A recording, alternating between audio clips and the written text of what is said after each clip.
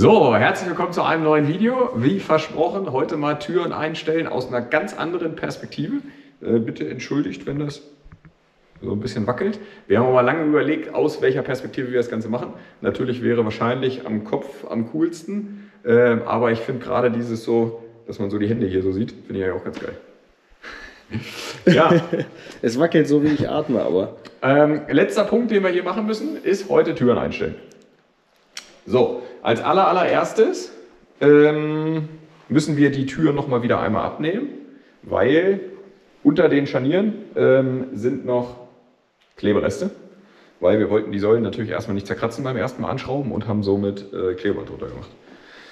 Prinzipiell beim Türen einstellen gilt von hinten nach vorne. Äh, ja, eigentlich nur so macht Sinn, weil das Seitenteil können wir ja nicht verändern, ne? Wenn du jetzt übrigens die Kamera so festhältst, sieht man übrigens auch in der Kamera, dass du die so festhältst. Echt? Ja. Also, ja, aber wenn ich so atme, dann geht es immer so. Ja, macht nichts. Das, das, kann, das, kann die, das kann die GoPro aber eigentlich ganz gut ab. ähm, von hinten nach vorne. Ja, Seitenteil können wir ja nicht beeinflussen. Also ich mhm. würde es jetzt so machen, dass wir mit der Tür anfangen, wobei die jetzt schon echt ganz gut äh, passt. Hat Chris, damals, hat Chris schon alles gegeben beim Einstellen? Nee, das waren wir ja tatsächlich hier im Laden, ne? Ich weiß gar nicht mehr. Ja, doch. Hat er nicht einmal voreingestellt? Ich weiß gar nicht. Ähm, aber ist doch egal. Äh, wir müssen ja eh nochmal abnehmen, genau. Und dann von hinten nach vorne so ein bisschen durchmogeln, ja. So ein bisschen nach allem. So ein bisschen nach Zierleiste, so ein bisschen nach. Ja, wobei in dem Fall, wenn ich jetzt so drauf gucke, ist sitzt, annähernd perfekt. Sitzt er eigentlich schon annähernd ja. perfekt. Aber wir müssen sie trotzdem einmal nochmal wieder abnehmen, weil es muss auf jeden Fall das Klebeband hier runter, als auch ähm, ähm, hier muss ein bisschen Dichtmasse drunter, dass hier kein Wasser reinlaufen kann. So, okay. Ich würde sagen, als allererstes nehmen wir so ab. Ne? Ja. Kriegst du wieder rein? Oder? Ja.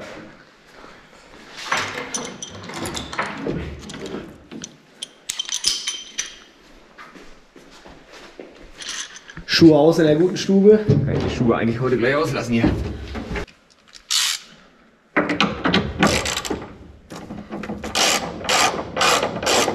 So, Schraube 9. So, die ganzen Schrauben werden natürlich alle auch noch ersetzt.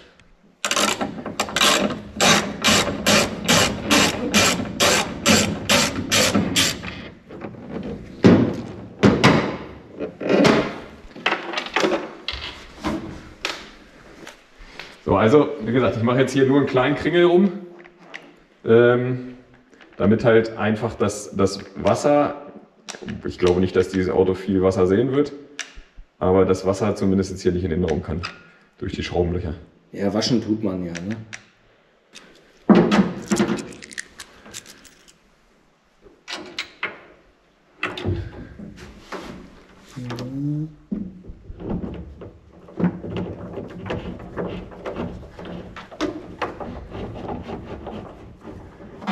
Ja, diesen Plan. Ja, den brauchen wir.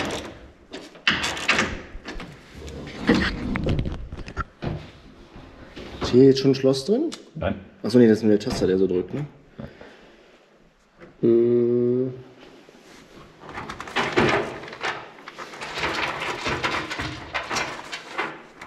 Also wichtig ist halt immer die Tür erstmal einmal einstellen, ohne Fanghaken, ohne alles, bis sie da wirklich gut drin hängt.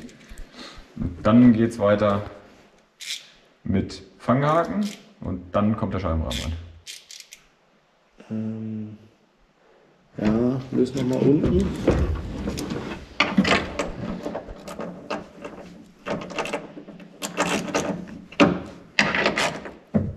Dann machen wir fest.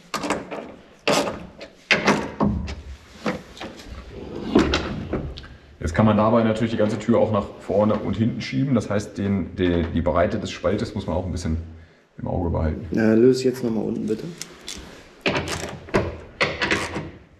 Jo. Nochmal fest. Jo. So würde ich sie erstmal lassen und gucken, was sich vorne ergibt. Das könnte jetzt noch ein Hauch zu breit sein. Das täuscht aber auch, weil man diese Kante hier nicht so richtig wahrnehmen kann. Ich weiß nicht, ob ihr das seht. Eins ist Klarlack und das nächste ist dann Carbon, aber der wird jetzt hier gerade schon so nur noch 4 mm haben oder so. Wie war das früher, äh, früher im Werk? Habt ihr die Spaltmaße gemessen mit Werk? Äh, ja, ich war ja da, bevor das Auto KTL äh, getaucht wurde. Und da hatten wir so Lehren, genau. Die Tür wird aber tendenziell ein Stück zu hoch eingestellt, weil ja noch Gewicht reinkommt vom Scheibenrahmen, Lautsprecher, was auch immer. Ich weiß nicht, was jetzt bei dir hier an HiFi noch reinkommt. Alles volles. Subwoofer. Aber ähm, ja, dann drückt oben noch ein bisschen der Scheibenrahmen und so. Ich würde es jetzt so erstmal tatsächlich lassen.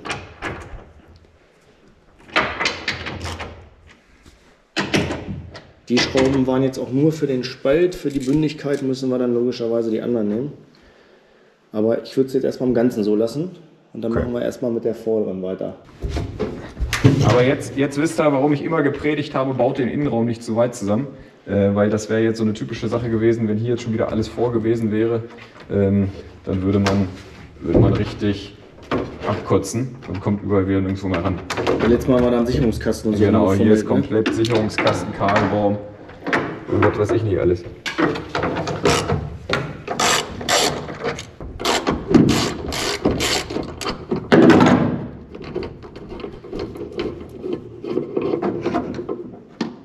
Sehe gerade unter weiser Voraussichtung, äh, Voraussicht auf schwere Kupplung hat Audi das Kupplungspedal aus Guss gemacht extra, ne? Ja, ja, und das ist einmal Blech und einmal Alu, Aluguss. So, jetzt muss ich einmal die gucken, wo. So. Jo! Und wieder rein in die gute Stube. Beim Zumachen habe ich mal Angst, dass ich sie abbreche einfach.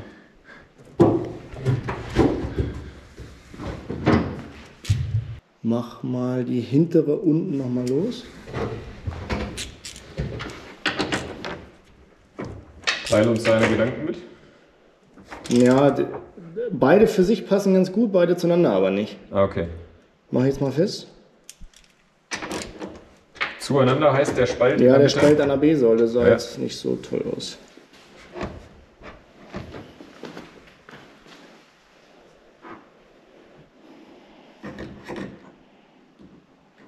Jetzt machen wir vorne oben nochmal los.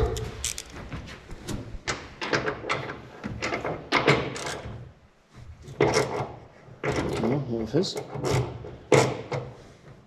Oh, jetzt zieht sie mal so wieder hoch. Mach nochmal los. Jetzt fest.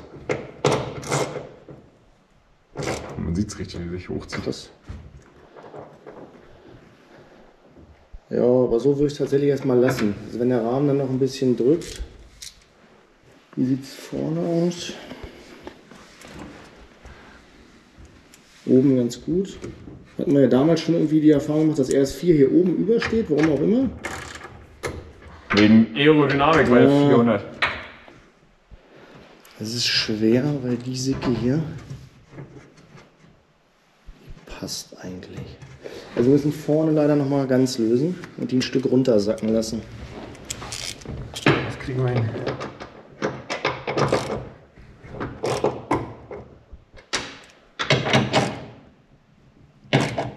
Fest.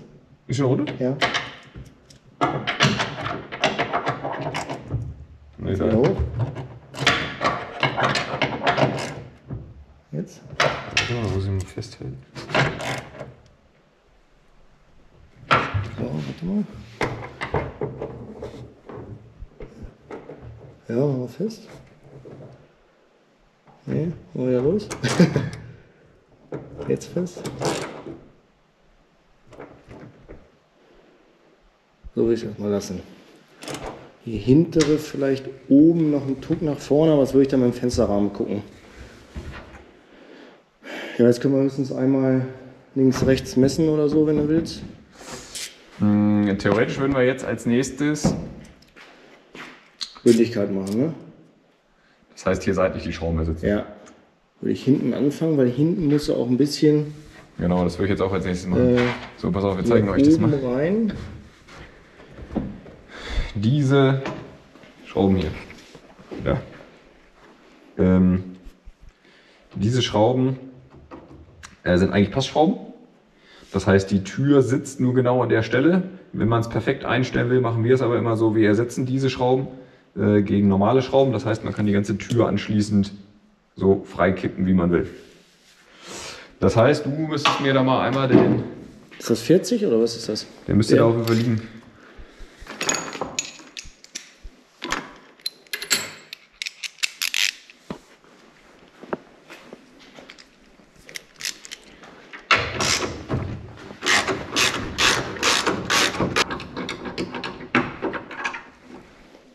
Ihr die. Die Passschraube. So, und jetzt seht ihr hier, jetzt können wir quasi die Tür so auch verschieben. Ja, So, jetzt wieder zu oder ja.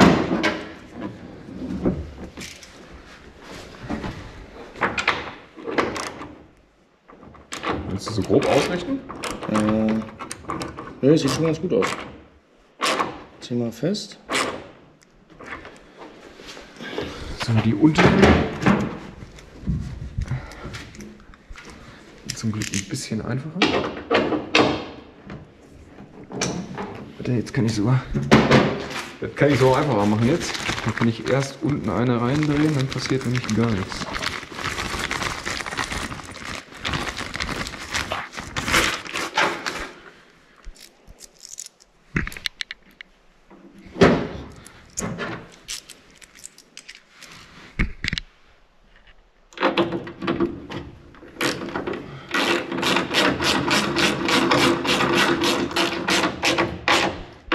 Stell dir mal vor, uns würde von außen einer beobachten. Ja, dann denkt man, wir fehlen mehr andere Sachen.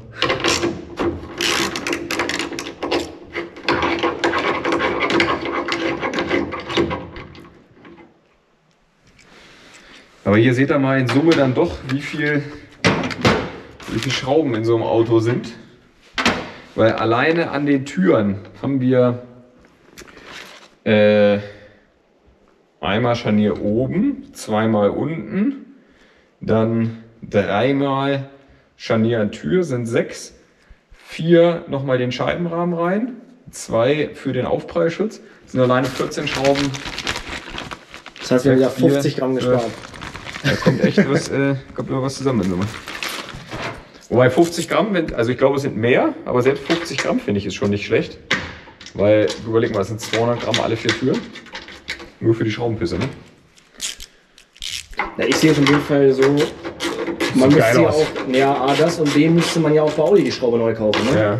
Und da wird die ja auch mittlerweile wahrscheinlich 3 Euro kosten oder was? Ja, diese. Passschrauben kann gut sein. Also bei so einer Passschraube kann man immer 0,0 einschätzen. Also das kann ein Euro sein, kann aber auch 5 Euro sein. Das Gute ist ja immer, Schrauben sind ja meistens immer Ra- Rabattgruppe 1. Das heißt, es gibt immerhin 49% drauf. Okay. So, wie sieht's aus? Jetzt können wir theoretisch bei der Tür die Winkligkeit so Ja. einstellen. Aber das sieht annähernd perfekt aus. Okay. Weil ich hatte sie eben oben schon ein bisschen reingedrückt und der Rest sieht echt Ja, dann, gut aus. dann würde ich sagen, lassen wir das annähernd. Annähernd perfekt und machen vorne gleich weiter. Das Problem ist, der Fensterrahmen wird sich nachher noch ein Stück nach unten drücken.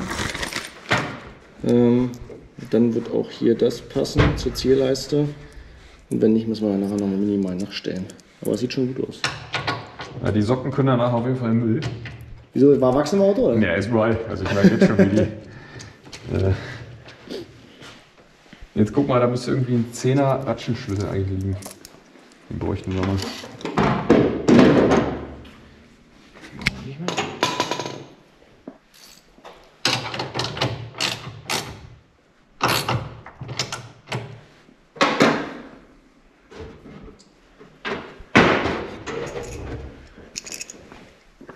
Ja, ich sehe gerade, hier müssen wir das Loch für den Fensterrahmen noch aufbauen Bohren.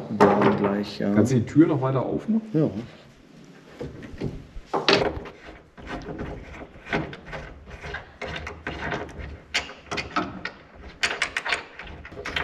Die Türen sehen von innen so geil aus. Könnte man auch eigentlich ohne Türverkleidung fahren. Ja, ich wollte auch zur Sekunde das gleiche sagen, dass ich immer wieder fasziniert bin, wie krass Artyom dann so diese ganzen Innenbereiche ausarbeitet. Ne? So, also das hier alles, das sieht schon wirklich heftig aus. Ja, dann schmeißen wir zu den Kollegen. So, an die unteren kommen wir leider nur von innen dran. Also müssen jetzt ein paar Mal Tür auf und zu machen. Äh, Ja, ich würde es erstmal so lassen. Und die vordere passt genauso? Die brauchen Ja, wir können ja mal, halt sie mal so ein bisschen so zu, würde ich einmal nachmessen. Viereinhalb. Ja, hier ist auch fünf. Vier. Halt mal die hinteren ein bisschen zu. Ja? Ja, es ist witzig. Das sieht nur so breit aus durch. Also, sie sind jetzt 95% gleich. Ja, perfekt. 95 reicht das. okay, dann nochmal die vordere Tür nochmal auf, dann ziehe ich das hier nochmal alles fest. Achso, wegen Winkligkeit wolltest du noch mal. Achso, ne? ja genau. Das war ja eigentlich die Frage. Ähm, ja, nee, passt nicht. äh, Aber die hintere passt hinten, ja, hinten passt zum Seitenteil schön. Ja, doch. Also es ist die vordere. Die vordere muss unten mal los und dann müssen wir sie ein bisschen kippen. Wann, wie kommst du da ran? Noch ein bisschen weiter auf, noch ein bisschen. So, reicht. Und was hast du heute gemacht? Ja, ich habe ein bisschen im Auto gesessen. Äh, können wir so lassen. Passt so? Ja. Willst du mal nachziehen oder war fest schon? Ne, es war schon fest. Wir müssen jetzt nur vorne, muss ich einmal von außen in die Scharniere noch zwei Schrauben drehen. Durch die Kotflügel. Okay. Und in der Zeit kannst du theoretisch Achso, die... Kotflügel können wir theoretisch noch einmal gucken, aber den können wir auch hinter. Der passt aber sehr gut. Ähm. wir, der muss nur noch ein bisschen. Jetzt können wir theoretisch die Fanghaken dann gleich einmal einbauen, ne? Genau. Ja. Einmal die Fanghaken rein. Ja, auf jeden Fall schon mal viel Spaß an denjenigen, der das Video schneiden darf hier.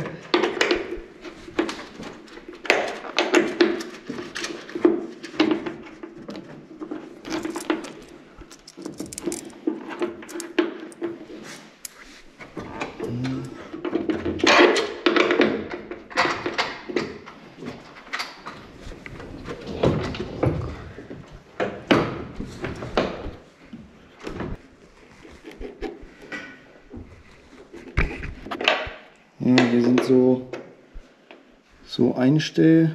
Ich würde sagen, das sind Millimeter. Jetzt habe ich mir das hier markiert. Millis! Und einen Strich weitergeschoben. Ich hoffe, es hat gereicht, weil sie leider ein bisschen weit raus steht. Äh, rein steht. Kannst du mir mal die kleine Knarre geben, bitte? Ja. Drei Achtel? Ja, ja.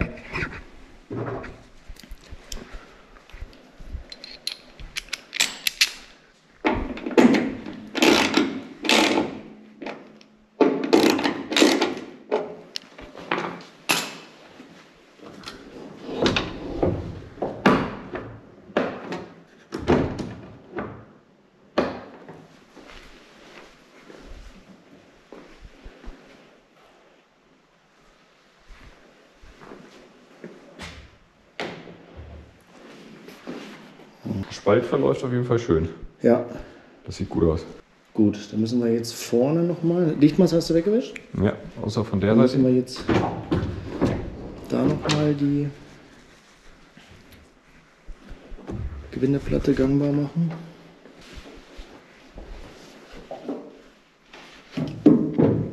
Ah, leg da ein Tuch rein. Ja.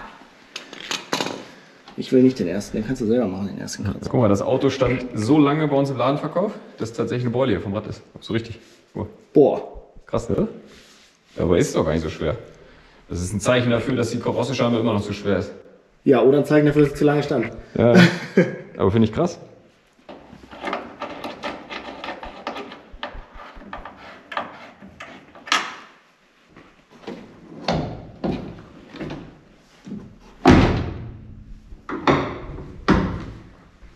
Kannst du mal reingehen? Man sieht ja von drin, ob das Schloss trifft, ne? Oder?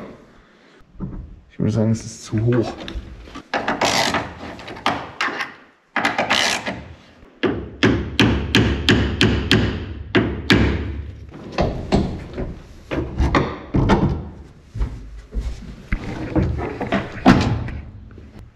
Ne, jetzt ist es zu tief. Das muss deutlich höher. Der hintere Teil allerdings. Kann sein, dass es ein bisschen so gedreht werden muss. Probieren Sie nochmal. Also eigentlich, nee, lass mal genau so. Eigentlich müsste es jetzt gerade so von per Hand drehbar sein. Das ist. Na, jetzt zieht sich runter, siehst du?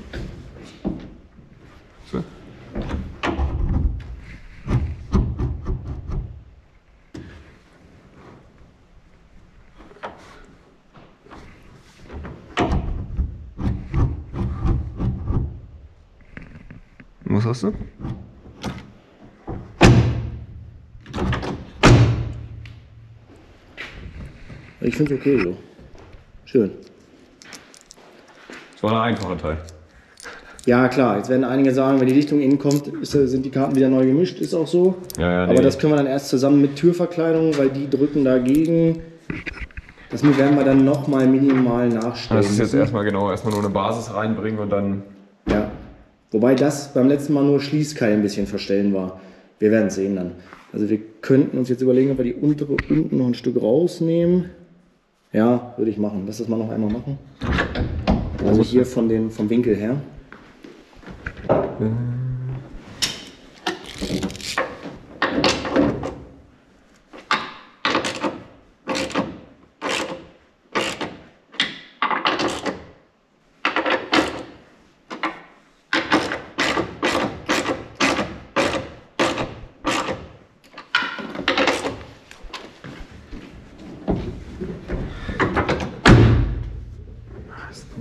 Boah, das war viel zu viel. Krass. Okay, dann leider nochmal auf. Löse mal. Aber lieber zu viel als zu wenig. In dem Fall. Weil dann weiß man wenigstens, Dass es hergibt, ne? dass es eine Lösung gibt.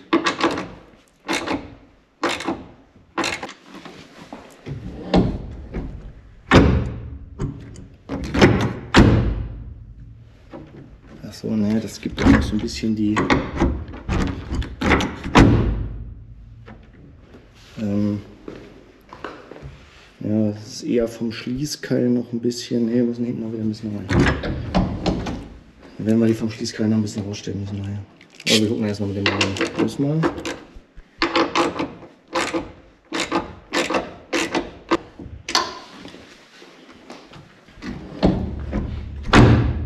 Ja.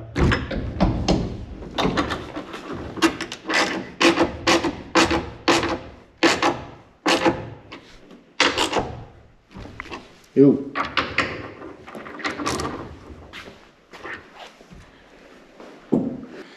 Ja, wichtig ist, dass man diese ersten Schritte halt wirklich gewissenhaft macht, weil je besser die Basis erstmal sitzt, äh, je mehr, je einfacher geht es am Ende. Ne?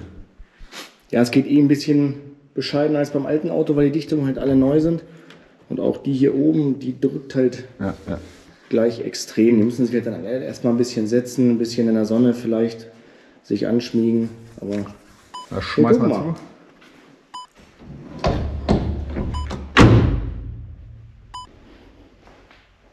So, weiter geht's. Akkuwechsel getan und los geht's. Kaffee getrunken. Kaffee getrunken, genau. Also, wir fangen jetzt an, logischerweise wieder mit dem hinteren Rahmen. Meine Finger sind leicht gebrochen, weil ganz großes Problem bei diesem Rahmen ist, ähm, dass man die Dichtung hier wirklich bis Anschlag aufwürgen muss. Also es fühlt sich so an, als wenn die Dichtung schon drauf ist. Irgendwann macht es aber wirklich klack und geht drauf. Und ich sage euch, da müsst ihr sowas von brutal fest gegendrücken. Ähm, ja, weil wenn die Dichtung natürlich nicht ganz drauf ist, bringt natürlich auch alles Einstellen am Ende nichts. Weil äh, du natürlich, weißt du, der Ja, Rahmen steht, der Rahmen steht ja anders. so. Der Rahmen steht ja anders als die Dichtung. Ne? Ich finde ja krass, dass du diesen ganzen Kram zusammen besorgt gekriegt hast. Das ist irgendwie.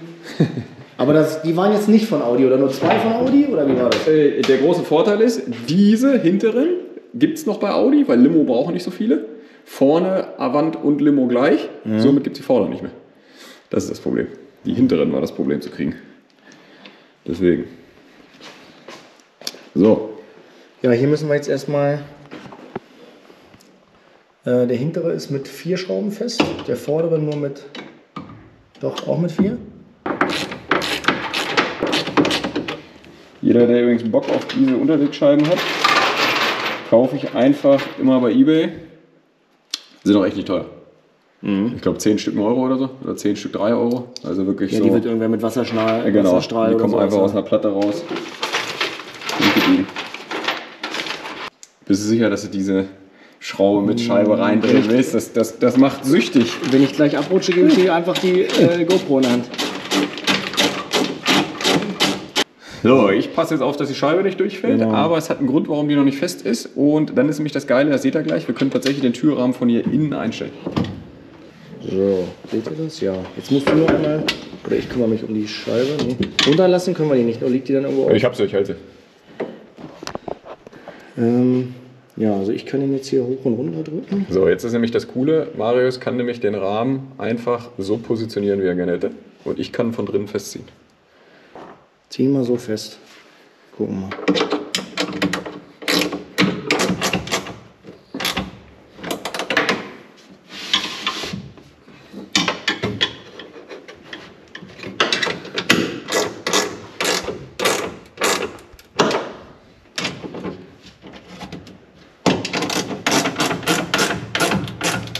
Jo.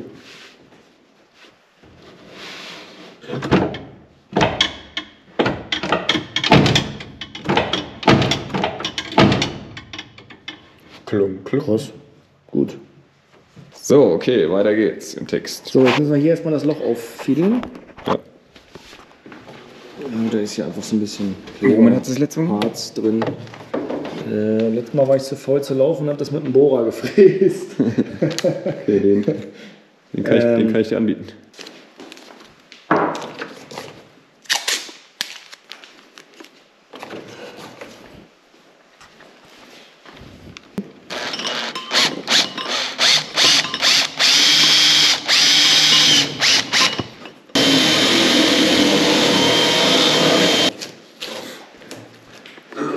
So langsam kriege ich auch kalte Füße hier ohne.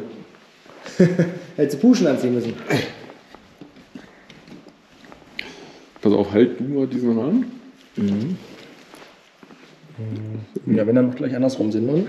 Oder gleich andersrum. Weil dann baue ich nämlich den, den Spiegel einmal hier an. Ach so. Das wollte ich eigentlich. Das heißt, wenn ich am Bild 5 Spiegel tauschen will, muss ich immer Fensterrahmen hochziehen? Ja, man kann es auch so durchwursteln. Aber wenn du es vernünftig und schön machen willst und kratzerfrei, dann musst du es leider Okay. eigentlich Ja, so ich habe den zusammengeschraubt, aber Spiegelglas darfst du selber machen. Ja, ja. das machen wir. Achtung.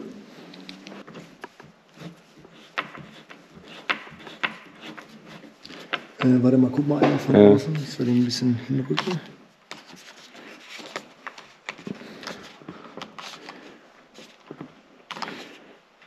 Dann können wir sonst auch noch von innen Justieren.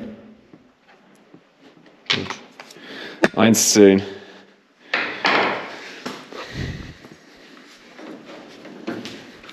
So, jetzt haben wir hier noch gar keinen dran. Macht aber nichts. Kommt man noch an, oder? Ja, kommen wir überall noch hin. Kann man alles mitnehmen.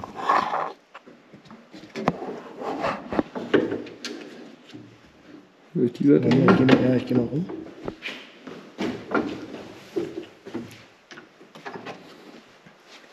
Wir waren das ja irgendwo so durch. Ne?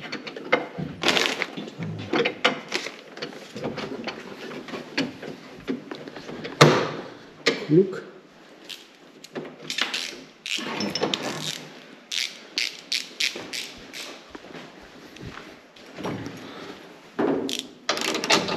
Die Gummis, wo die Klopappe drin hängt, hast du die noch neu bekommen?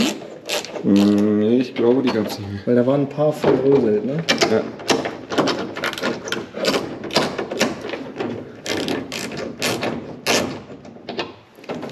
Glaube, wir müssen ein bisschen anheben, oder geht? Dann brauche ich die. Ich glaube, wir müssen ein bisschen hoch.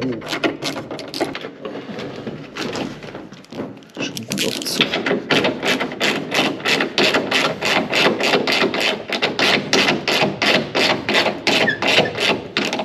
So.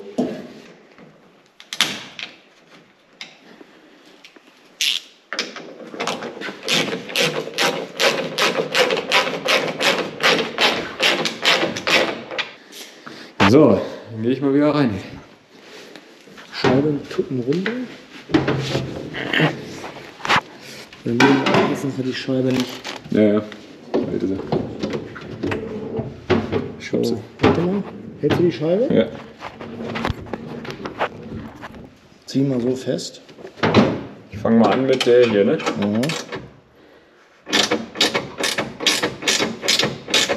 Ja. Ähm, kannst du so eigentlich mal komplett festziehen. wo, wo muss sie, wenn tendenziell hin? Äh, Also wenn sie zum Beispiel hier hoch muss, ne? Ja. Dann kann ich jetzt hier den Keil weiter reindrücken. Und weißt du, wenn ich hier den Keil reindrücke, kommt, kommt die Scheibe ja. ne, sitzt eigentlich. Warte mal, ich gehe nochmal drüben gucken. Ja, ist hier genau. Also eigentlich kannst du so mal komplett festziehen.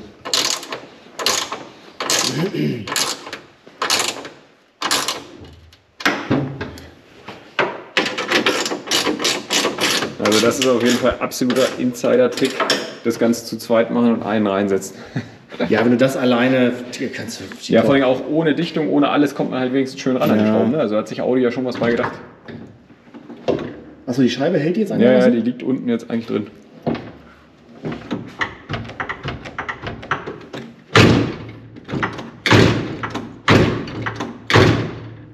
Ich finde schön. Ging ja fast so einfach. Äh, äh, sah jetzt fast so aus, als wenn. Ja, gut, wir haben es Als jetzt geplant schon sechs Mal, sieben, das achte Mal war es Nein, also ne? Trick dabei ist wirklich erst Tür unten einstellen, dann Zapfen rein, dann Türrahmen vorbereiten. Ganz wichtig, dass die Dichtung auf dem Rahmen richtig sitzt und dann halt wirklich, wie Marius gerade gemacht hat, den Rahmen hier oben halt schön ranziehen. Und dann halt so ein bisschen mit Gefühl muss man halt schon wissen, welche Schraube man als erstes anzieht. Ne? Ja, es kann halt sein, wenn man jetzt die Pappe und die andere Dichtung, dann wird man bestimmt noch ein bisschen nachstellen müssen. Ne? Aber auch Spaltmaß hier sieht toll aus. Ich bin schockiert. Kotflügel ist noch nicht eingestellt, Ja, das heißt, Kotflügel ist noch locker, ja. okay, das heißt, du sagst, so kann bleiben. So kann bleiben. Fenster hoch.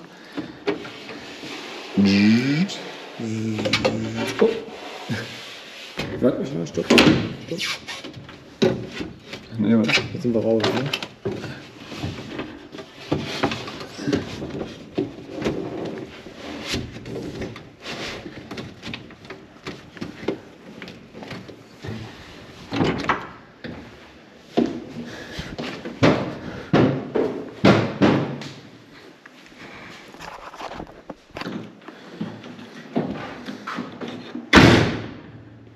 Jawohl. Geht auch richtig gut so eigentlich. So. Für so eine leere Butze, ne? Ja. Ja, ich würde sagen, jetzt kriegt er noch eine Runde Detailer und ein bisschen Scheibenreiniger. Bisschen Scheibendetailer. Scheibendetailer genug. Aber ich würde sagen, das sieht doch. Kann sich doch sehen lassen, ne? Ich find's mega. Haben wir das auch wieder geschafft. Können als nächstes Achsen rein. Deine anfängliche Bedenken mit den Aluspiegeln, ich finde es eigentlich ganz geil. So Nee, ich finde es auch geil.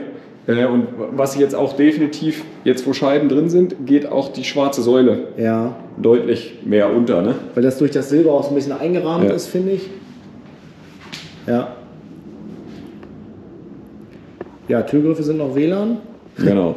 Also ne- als nächstes äh, Türgriffe und die hier unten die, äh, die Leisten oder Rückleuchten, die ist Artyom noch fleißig am Bauen. Ich habe gestern schon Fahrwerk reingehangen vorne hinten, das heißt als nächstes können die Achsen rein und dann steht er auch endlich auf eigenen Rädern. Ne? Habt, Ja. ihr eigentlich, habt ihr eigentlich diesmal bedacht, dass das Auto ein bisschen leichter wird? Mm, Ja, jein. äh, also haben wir schon, aber bin gespannt, ob es nicht immer noch zu hoch ist. Müssen wir dann mal gucken. Deswegen. Geil, aber vorne hast du erstmal ganz runtergedreht, ne? Ja, hinten auch. Weil ich, nein, ja, ich baue das ja so rum immer zusammen. Ah, okay. Ich, Ich dachte das, für die Messe erstmal nee, ganz nee, ich steck das, ich steck das ohne Vorspannung immer zusammen und drehe dann quasi Okay, den Dämpfer rein. Deswegen. das ist sympathische Höhe. ja, ja, das wird schon. Yes, ich würde sagen, haben wir Tür einstellen auch hinter uns. Ähm, weiter geht's im nächsten Video. Ciao. Ciao.